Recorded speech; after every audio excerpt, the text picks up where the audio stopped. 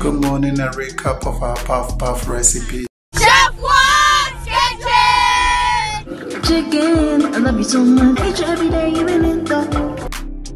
You can add your butter, and once you scoop it up, pretend you're dropping it, but don't drop it slowly, and mix it from the roll in your hands. And just when your oil is hot, just drop it and fill it up as fast as you can. Don't rush. If you're a beginner, spoon, an ice cream scoop, or any other thing, and then just fill your oil up.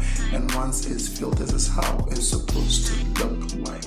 And gently flip it around for it to cook perfectly.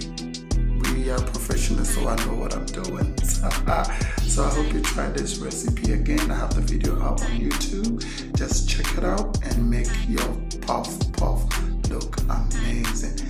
Thank you for watching. This is just a recap. See you in my next video. Bye.